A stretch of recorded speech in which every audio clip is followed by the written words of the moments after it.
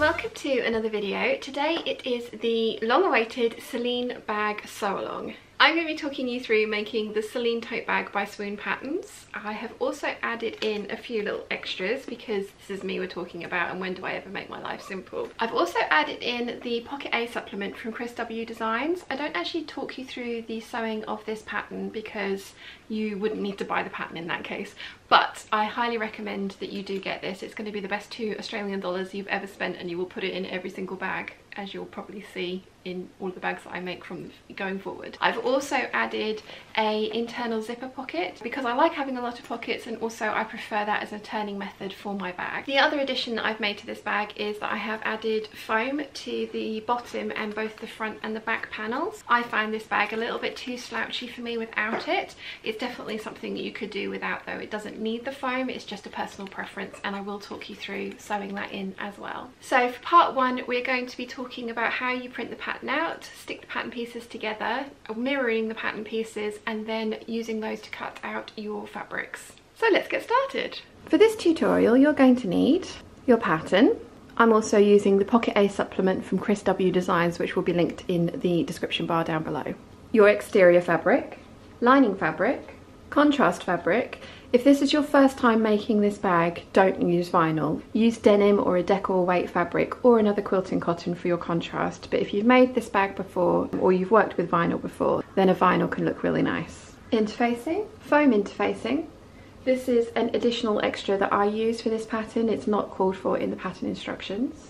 You're going to want three zips for this project, the way that I have done it. What two for the exterior and one for the interior pocket, which again is an addition to the pattern that I've made. I'm using continuous zipper for the first time, should be interesting. You're going to need some bag hardware as well. I am again deviating from the pattern and using these triangle anchor straps. I've also got the strap ends, purse feet, a half inch swivel clasp and D-ring, rulers, wonder clips, scissors, matching thread, double-sided tape, a pen, fray check, you're going to need some sellotape and you're also going to need some tracing paper. So let's get started. Really important thing to note when you're printing off your pattern is that you want to do it at 100% or you know there's no scaling on this. And before you start doing anything you want to measure these boxes and make sure that it is measuring the two inches square or the five centimeter square if you're working with centimeters that it should do. Again, ask me how I know. When you're printing this pattern, it's much easier to do it from your computer or your laptop. I've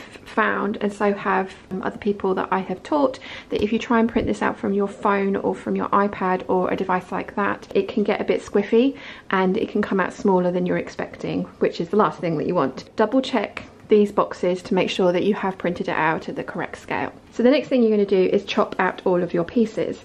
I'm not going to be cutting out either the woven handle connector or the vinyl handle connector because I'm using the uh, triangular anchor straps that I showed you in the previous clip.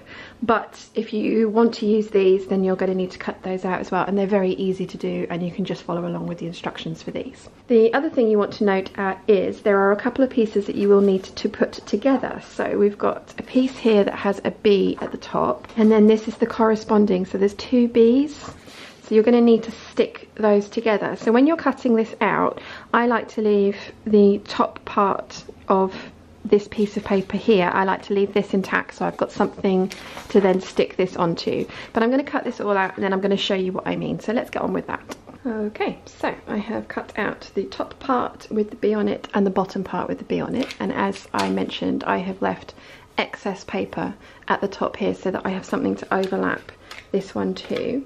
what you want to do is match up the solid lines and the B's like that.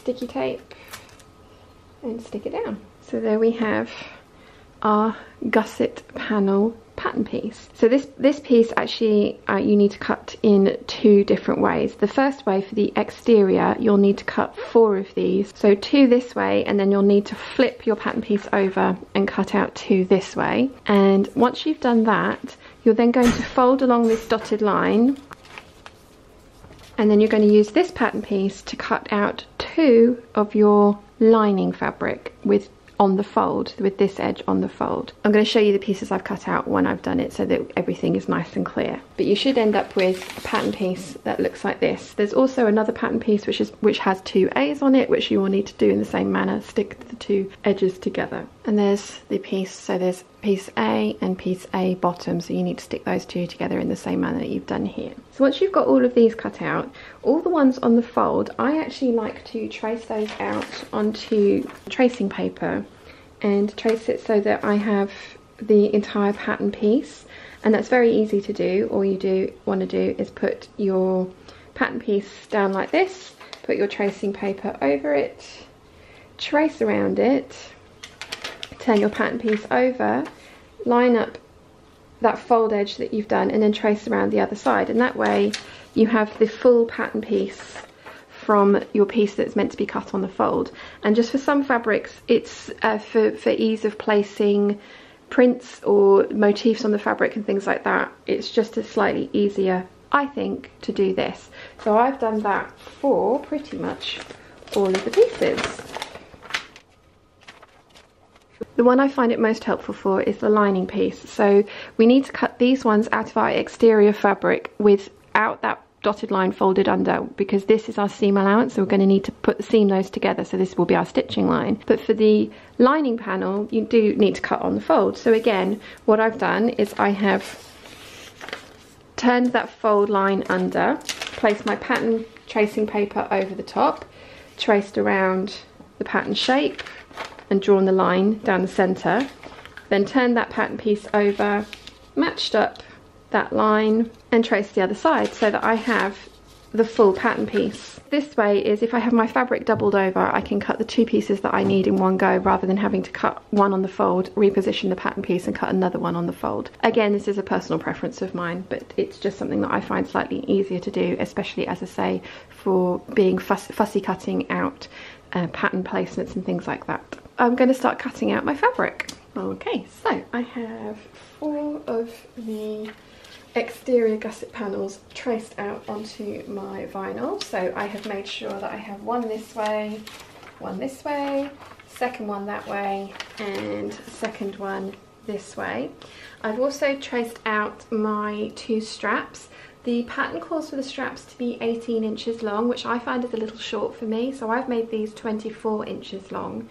And I'm doing the double-sided straps so rather than doing them at four inches I have done them at two inches and then I've marked the center point which will help me when I am top stitching the raw edges into the center later. It does mean that we're going to need to cut exactly the same straps out of our decorative fabric but again I will show you that when we get there.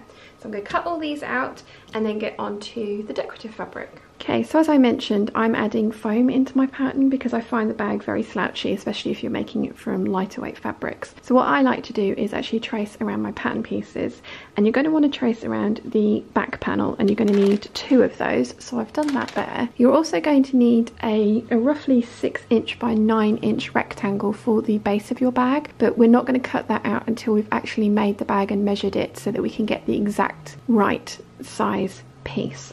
So this bit here is not going to go to waste. Okay, so I have everything cut out and before I show you and go through all the bits and pieces that you should also have, I'm going to say that post-it notes and wonder clips are your best friends when it comes to bag making.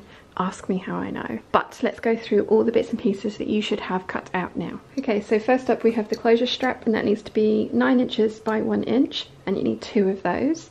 I'm using my exterior fabric for those. Then we have the pocket tabs. I'm deviating from the pattern here and I am cutting two at six inches long by one inch wide because I like to use a slightly shorter zip for the outside zipper than the pattern recommends. So I need a longer pocket tab. Then we have the main zipper tab, that's three inches by two inches and that's for a one inch wide zipper. I've got one of those. We've got the zipper panels. So we want four of these and they're 10 inches long by one and a half inches wide. The pattern doesn't call for interfacing but I kind of like to interface them so I have four interfacing and four of again my exterior fabric and that is the zipper panels. These are pieces that the pattern doesn't actually call for. The pattern doesn't have an internal zipper pocket, but I much prefer to have one of those in my bags anyway, and I also prefer to birth my bags through these. So you're gonna need a zipper facing, which is three inches wide by eight inches long, and I've got one of lining and one of interfacing. It doesn't matter what you cut this out of because it's never actually going to be seen, but it's just a way of making the interior of the zipper pocket seamless so you can't see any of the zipper tape raw edges. And then for the interior pocket, I've cut 8 inches wide by 6.5 inches tall and I've cut two of those. Then we have the straps, and as I mentioned, we're doing double-sided straps for this bag. So I have the outer, the vinyl, I have 24 inches long by 2 inches wide. And then out of my main exterior fabric, I have the same 24 inches long and 2 inches wide. That is 6, six inches longer than the pattern recommends for the straps to be, but I prefer them to be a little bit longer as I find it difficult to get it over my shoulder otherwise. Right, now we're moving on to the actual pattern pieces. So this is the exterior gusset panels and we've cut four of these and we've cut it so that we have the seam allowance included. So we want four of those and we want two matching pairs. So we've got one, two,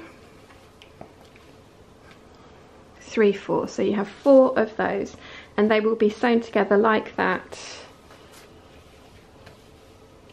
and then like that and that's going to be the gusset of your bag. But you want to make sure that you definitely have the two kind of mirrored pairs of those. And again that is this pattern piece, the exterior gusset panel, and that's cut with the seam allowance included, so ignoring that fold line. And because I'm using vinyl, I've not cut interfacing for these because this is actually a fairly stable and sturdy vinyl. If you're using something like a denim, a corduroy, or quilting weight cotton, you will want to have the corresponding interfacing pieces so you'd need four interfacing pieces that would match your four external pieces. But as I say, because I'm using vinyl, I've not done that. Next, we have the lining gusset panel, and this is the one that was cut on the fold. Now, as I mentioned earlier, I like to trace my pattern pieces out so that they're the full piece so that I don't need to cut on the fold, so that I can double the fabric up and cut the two pieces I need in one go. So we've got two lining and two interfacing there. Here we have the bottom lining panel, which is this piece. And again, I've doubled my pattern piece up and we had, should have two of, of the lining fabric and again, two of the interfacing. This is the top lining panel. So again, we should have two lining and two interfacing. This is the pocket panel. This one's a little bit different. So you should have one of your exterior fabric and an interfacing one for that. And then you should have two of your lining fabric and two interfacing for that. So you end up with three pieces of fabric and three pieces of interfacing in this shape. Top front panel is the one out of your exterior fabric and then one interfacing. The back panel is one out of your exterior fabric, one of interfacing, and then if your fabric needs it and you want to add foam, you're going to need two of these cut out from the foam. The final piece you'll need will be a piece of foam for the bottom of your bag, but I haven't cut that to size as yet because it, everything can, can get a little bit different as you're cutting and making your bag. So I'm going to measure and cut this to size when we get to that stage. So now that we've got everything cut out and all the interfacing done, we can start sewing. If you have any questions at all, please let me know in the comment section down below and I will do my best to answer them for you. I hope you've enjoyed today's video. If you have, please give it a thumbs up. If you haven't yet, please subscribe and I'll see you again very soon. Bye!